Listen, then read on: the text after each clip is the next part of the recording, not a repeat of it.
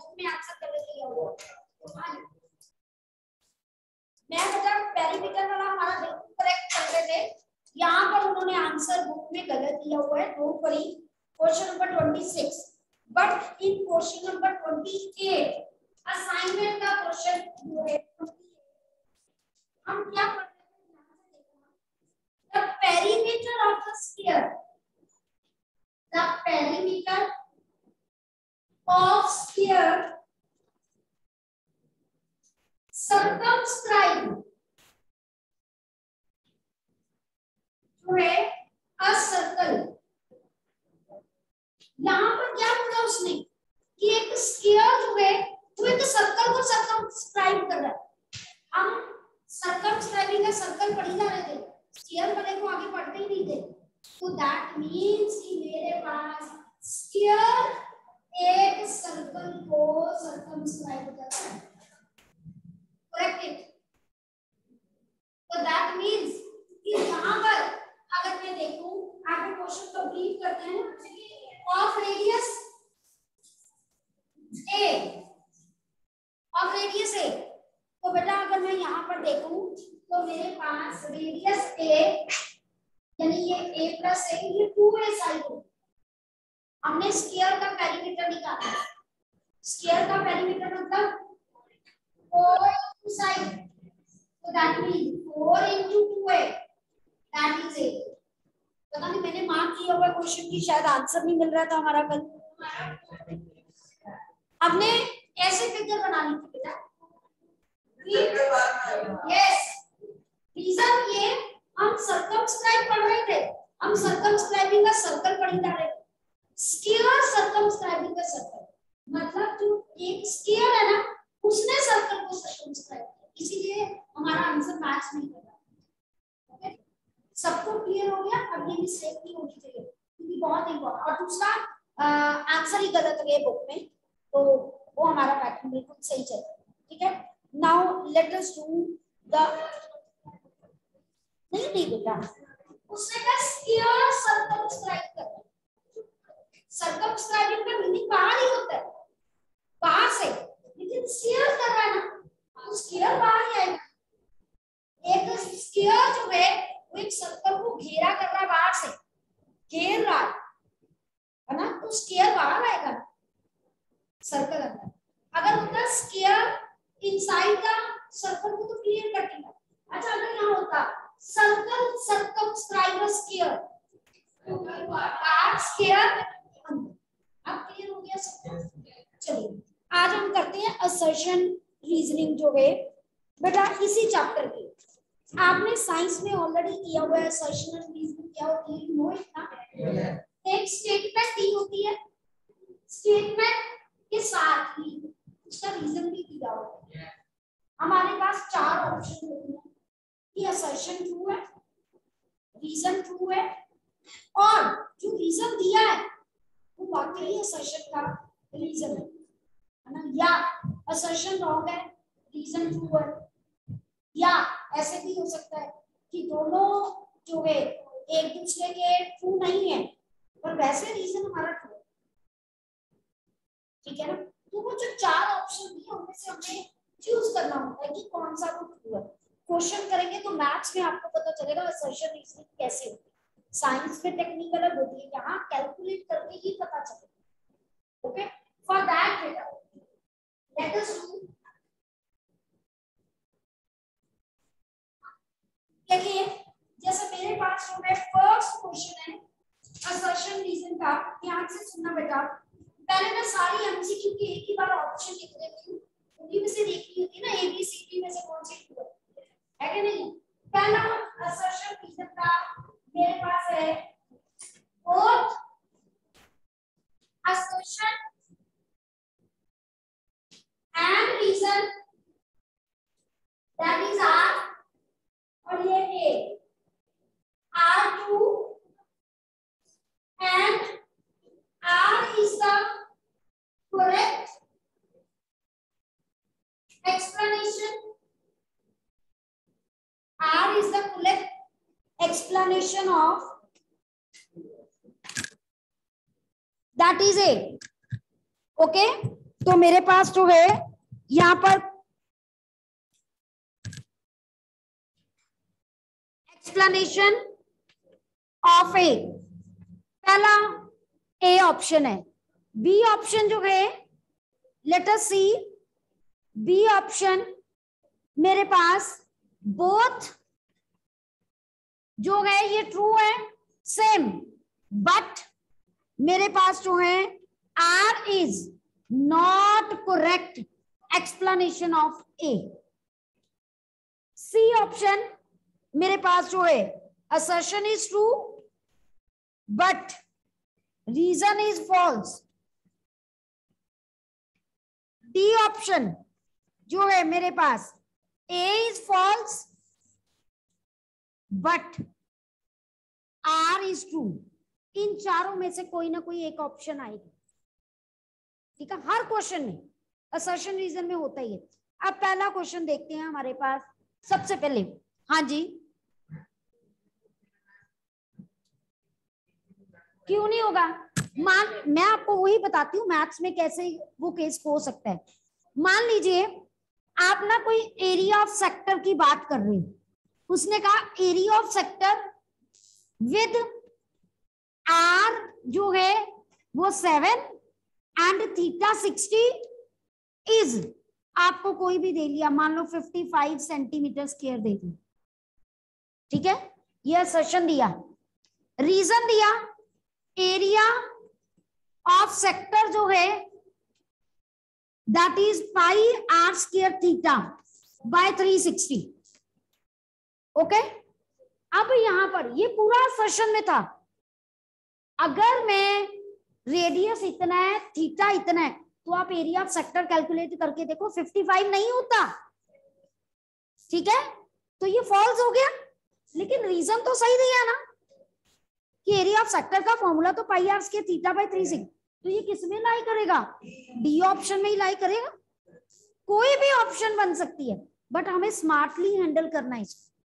एक क्वेश्चन तो ऐसे ही आपको समझ आ गया ना कि कैसे हो सकता है कि ये असर्शन हो गया and this is reason okay बेटा? Now come to next question second question अब मैं बताने लगी आई एम रबिंग दिस मैं सारे भेज दूँगी। आप समझिए I will send the question in the groups okay you just understand क्योंकि नोट कराने में लगेंगे बेटा तो स्टेटमेंट नोट करते जाएँगे फिर फ़ायदा कुछ नहीं। I will send the question in the group you just listen and understand okay what the question are अब फ़र्स्ट क्वेश्चन देखिए मेरे पास। uh, मेरे पास जो बुक में क्वेश्चन नंबर है 126 आपको पता चल जाएगा। ओके असर्शन दिया हुआ है A in a circle of radius six centimetre बेटा। The angle of a sector is 60 then area of sector 18 6 by 7 centimeter square and reason is area of circle area of circle is pi r square सबसे पहले assertion का देखा करो true है कि नहीं calculate करो, अगर आर सिक्स है थीटा सिक्सटी है तो देखो क्या एरिया ऑफ़ सेक्टर यही बनता है। फटाफट करो। जल्दी। एरिया ऑफ़ सेक्टर का फॉर्मूला क्या होता है बेटा? Pi R square theta by three sixty ये किया तो सिक्स एक सिक्स से एक सिक्स कट गया। और मेरा जो है यहाँ पर वन थ्री टू हाँ जी फ्रैक्शन में कीजिए इसको। हाँ जी, यही आ रहा है। चेक कर लो। अगर मैं देखूँ तो सेवन वन दा बिल्कुल। तो सेवन सिक्स टू जो है, यही आ रहा है। इसका मतलब असर्शन तो ट्रू है। हंड्रेड परसेंट ट्रू है। अब मैंने रीजन देखना है। क्या रीजन क्या इसका करेक्ट एक्सप्लेनेशन है? नो तो दैट मीन्स कि मेरे पास क्या है? अच्छा नो नो नो नो अब एक सेकेंड यहाँ पर देखिए रीजन जो उसने दिया, वैसे एरिया ऑफ़ सर्कल मेरे पास जो है वो क्या होता है? जो वैसे रीजन दिया है स्टेटमेंट तो करेक्ट है ना? है ना? तो उसने कहा both A and B are correct but R is not the correct explanation of A B is the correct answer बेटा सम मैथ्स में होते ही ध्यान से देखने वाले। बिल्कुल, ये तो क्वेश्चन पे डिपेंड करता है ना। असर्शन वैसे निकालनी ही पड़ती है। विवान बेटा, सबको बात समझ आई? है ना? अब और जैसे जैसे क्वेश्चन करोगे, आपकी मास्टरी इनमें बढ़ती जाएगी और आप उतना ही। आपने पहले एमसीक्यू स्टार्ट किए थे मेरे साथ। टाइम लगा था। जैसे जैसे आपको दिमाग में आया हमने एक फिक्स कर लिया कि अगर बड़ा रेडियस निकालना है ना सरकमफ्रेंस दिया तो सब सिंपल रेडियस ऐड कर दो। अगर सर, एरिया की बात की गई है तो R square plus R square कर दो। किया था क्या नहीं? ऐसे ही इनमें है। जैसे जैसे प्रैक्टिस करते जाओगे वैसे वैसे आप उसमें मास्टरी गेन करते जाओ ओके जी नाउ कम टू नेक्स्ट बेटा question number one twenty seven हाँ जी क्वेश्चन नंबर जो है वन ट्वेंटी सेवन में मेरे पास बेटा क्या ऑप्शन है?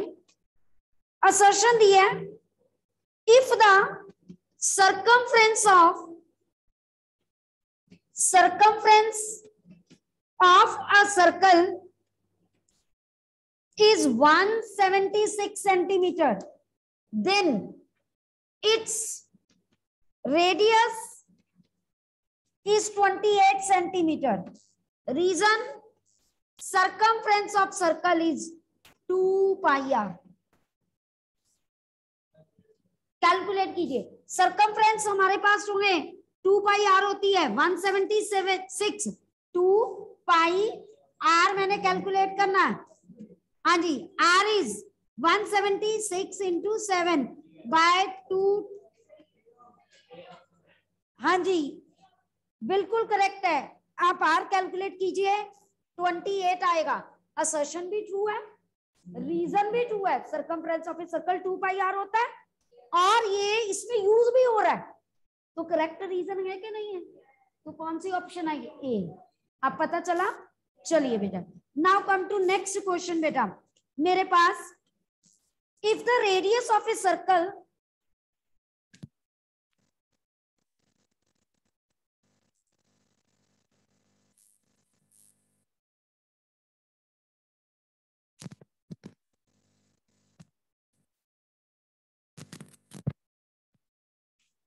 am I audible बेटा? ओके हाँ जी बेटा। तो नेक्स्ट मेरे पास हो है 128 में असर्शन क्या दिया हुआ है? If the radius of the circle मेरे पास जो है that is given to you that is seven by root five मेरे पास. It is given there radius that is 7 by root pi centimeter. Then, area of circle is 49 centimeters square reason, if r is the radius, then area of circle, that is 2 pi r. एक तो 100 percent बिना देखे ही पता चल गया कि reason wrong ही है, क्योंकि एरिया ऑफ़ सर्कल क्या होता है? आधी टेंशन तो खत्म हो गई, है ना? ये रीजन जो है करेक्ट ही नहीं है। तो अब ये आप चेक कर लो कि पाई आर स्केयर तो फोर्टी नाइन बाय पाई। हाँ जी, ये ट्रू है, ये करेक्ट रीजन ये खुद भी करेक्ट नहीं है। रीजन ही ट्रू नहीं है। है ना तो मेरे पास हो। क्या क्या? अच्छा क्या पता ए भी ट्रू ना होता बेटा? क्या पता ए भी ट्रू ना होता? आपको चेक करनी चाहिए। सारी चेक करा करो, क्योंकि जरा सी गलती के कारण हाँ जी बेटा। मैं कह रही बेटा, यहाँ नहीं है माइट भी हमारे पास कोई ऐसी ऑप्शन हो उस टाइम पे तो हम ऐसे ही इग्नोर नहीं कर सकते ना। एक हंड्रेड परसेंट वेरीफाई हो जाता है। What we are thinking that is true और नॉट हाँ जी? आर की वैल्यू क्या नहीं दी हुई? Seven by root pi. Okay बेटा, चले आगे। नाउ कम टू नेक्स्ट बेटा। हाँ जी, वन ट्वेंटी। आर दिया बेटा, पाई आर स्केयर का फॉर्मूला। आर की वैल्यू पुट की उसका स्केयर सेवन का स्केयर फोर्टी नाइन। और रूट पाई का स्केयर पाई, रूट और स्केयर कैंसल नहीं हो जाते। नेक्स्ट बेटा मेरे पास क्वेश्चन नंबर जो है 129 what is return here the radius of the wheel of a bus जो है that is 25 centimetre if the speed of the bus is 33 kilometre per hour then the number of revolutions made by wheel in one minute. Number of revolution जो है इन one minute बेटा वो कितना है? 250 ये assertion पूरा दिया हो ठीक है? यहाँ मैं फिर बार बार ये कह रही हूँ असर्शन का मतलब एक तरह का क्वेश्चन का आंसर भी आपको दिया है।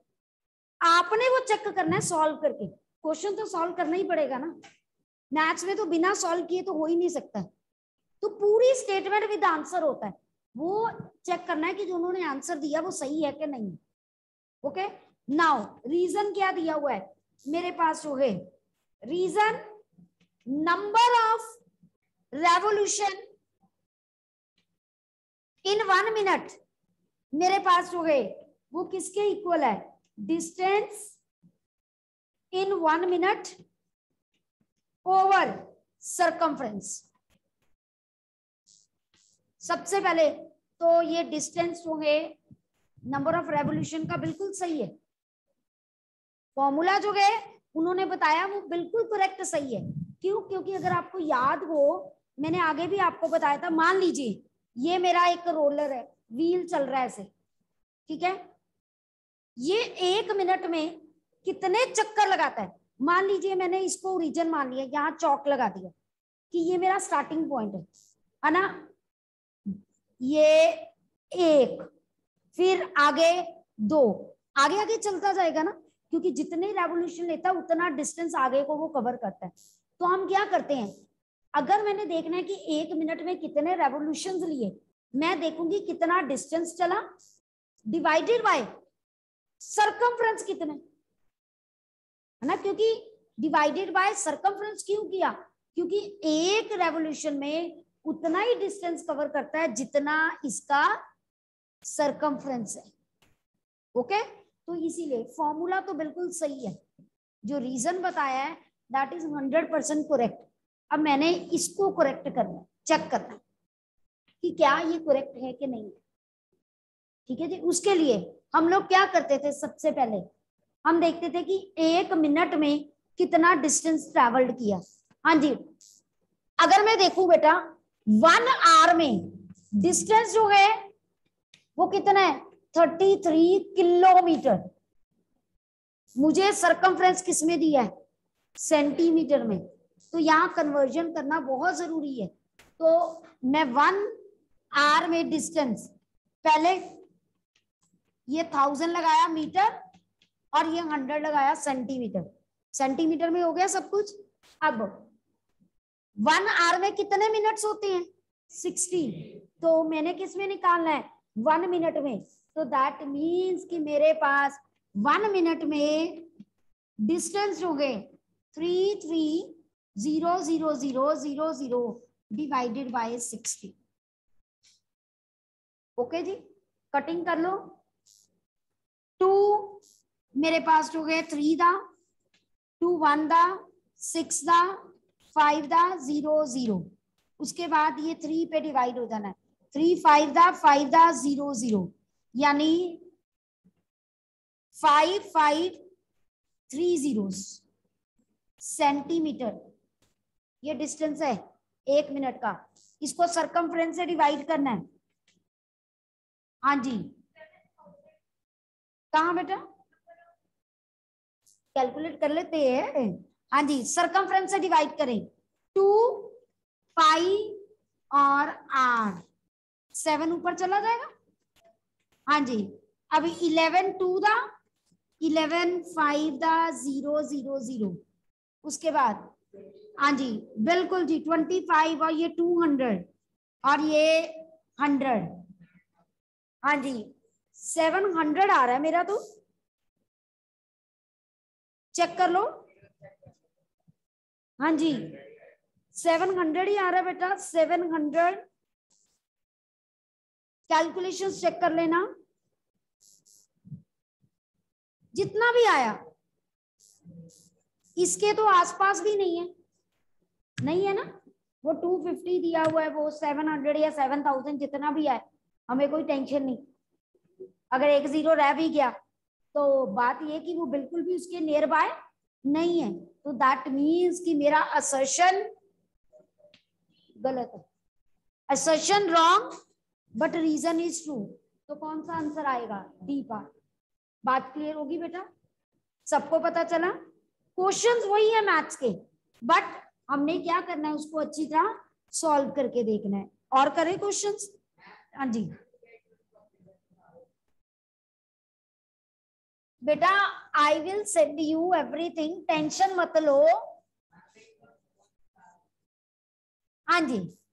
नेक्स्ट बेटा, मेरे पास जो है क्वेश्चन नंबर जो है one thirty question number one thirty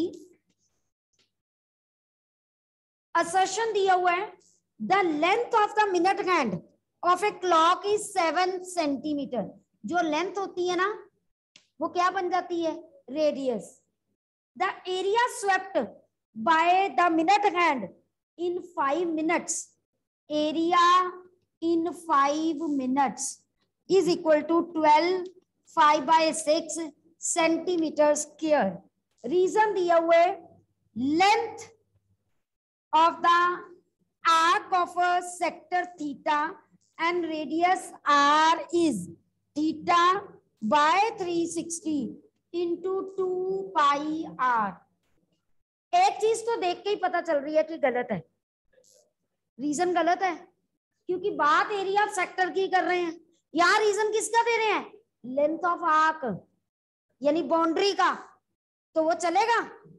इतना मुझे पता चल गया कि मेरा आर जो है, वो करेक्ट है। ओ फॉल्स है। है ना? तो हम देख लेंगे कि बी भी हो सकता बी हो सकता है सी भी हो सकता है है ना? बी या सी में से। उसके लिए सेशन चेक करना ही पड़ेगा ना। तो चेक करो। करो फटाफट। जल्दी। बेटा रीजन फॉल्स है। क्योंकि रीजन जो है, इसका वो रीजन नहीं है। बट वैसे रीजन देखू, मेरे पास जो है लेंथ ऑफ़ आर्क क्या होता है? Pi r theta by one eighty वो वैसे ठीक है। वैसे रीजन अगर देखें कि स्टेटमेंट रीजन की ट्रू है ना? लेंथ ऑफ़ आर्क का फॉर्मूला यही होता है ना? Pi r theta by one eighty होता है कि नहीं होता? वैसे ये सही है बट इसका रीजन नहीं है वो। बेटा, उसने कहा है कि क्लॉक का मेरे पास जो है रेडियस जो मिनट हैंड की लेंथ दी हुई है वो सेवन सेंटीमीटर यानी सर्कल का रेडियस ये, हमने एरिया स्वेप्ट निकालना है in five minutes five minutes में एरिया इतना है। ठीक है जी? ये सेशन है। रीजन उसने कहा length of arc is theta by 360 sixty into two pi r अगर ये रीजन की स्टेटमेंट देखू तो वो ट्रू है। बट इसका रीजन नहीं है ना, मैं ये कह रही थी। क्योंकि वहाँ एरिया की बात हो रही है, यहाँ किसकी बात हो रही है? लेंथ की। वैसे लेंथ ऑफ़ आर्क का फॉर्मूला यही होता है। यस करेक्ट रीजन नहीं है। पर वो चेक करने के लिए असर्शन चेक करनी है ना। क्या पता हो कि बोथ ट्रू हो but R is not the correct reason of A है कि नहीं है? तो उसके लिए, ये तो मुझे पता चल गया।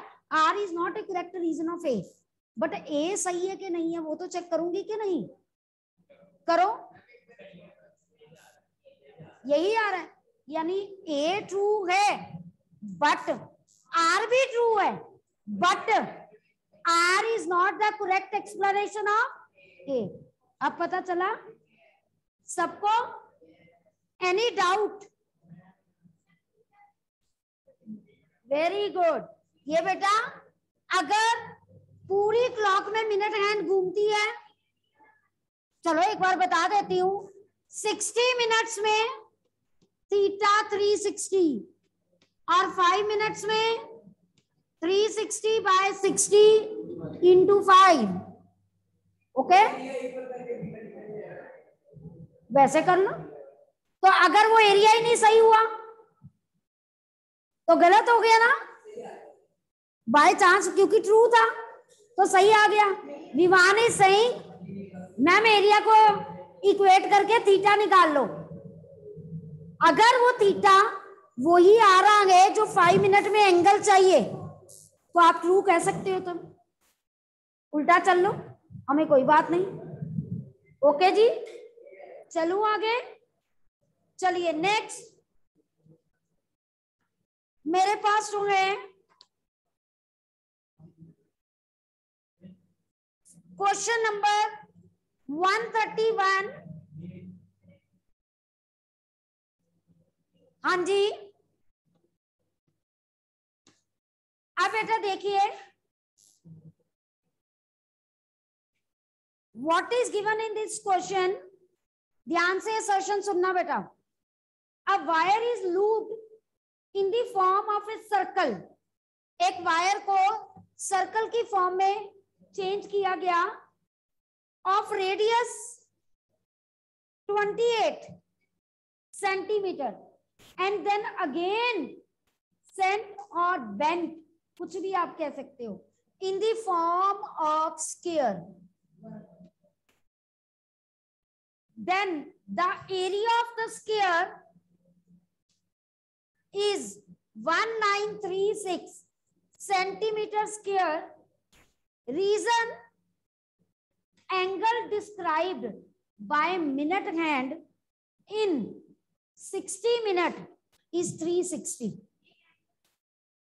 यही तो रीजन उसने दिया। रीजन सही है। Angle subtended by a minute hand जो है इन 60 मिनट 60 मिनट में एंगल 360 होता है। रीजन सही है बट वो करेक्ट एक्सप्लेनेशन नहीं है असर्शन की। पर चेक करें कि असर्शन सही है कि नहीं है। हाँ जी? बताया तो है अभी। असर्शन ये है कि एक वायर थी, उसको पहले सर्कल में बेंड किया गया और उस सर्कल का रेडियस 28 है, उसको दोबारा रीबेंड किया गया स्केयर में और कहा गया कि उसका एरिया इतना बनता है।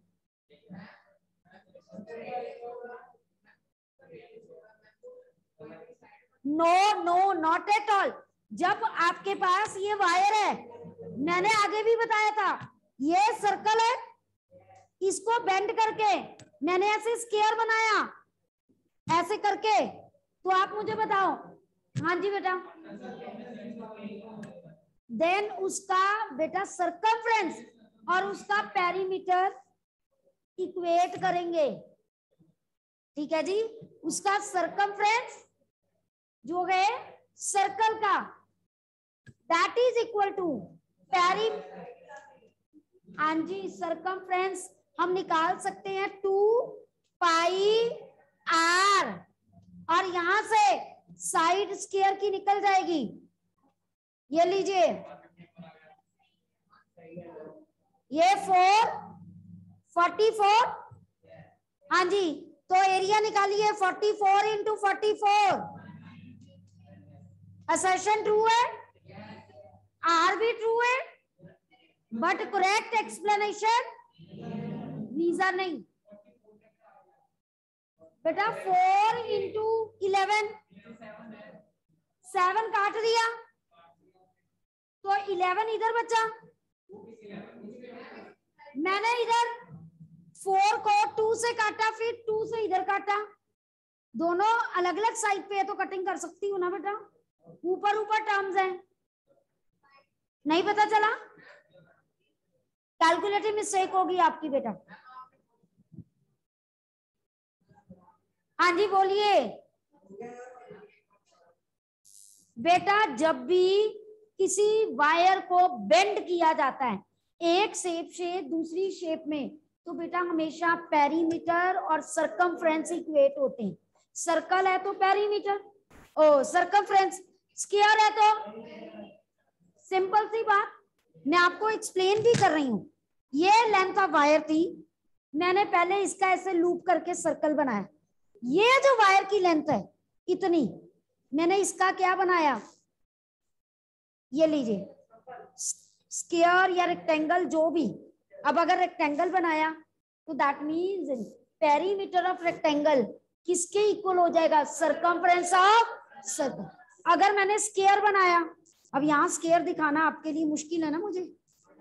तो circumference of a circle is equal to perimeter of square वो इक्वेट करके मैंने स्क्वायर की साइड निकाल ली ओके साइड से एरिया चेक कर लिया एरिया उतना ही आ रहा था। तो यस असर्शन ट्रू थी। रीजन स्टेटमेंट ट्रू है।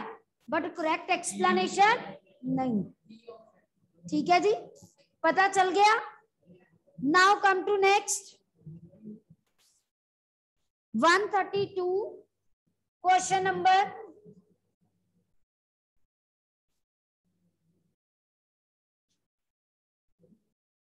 हाँ जी।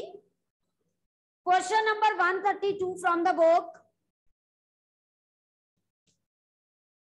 the question is circular footpath अब ध्यान से सुनना, मैंने दोबारा नहीं रिपीट करना है।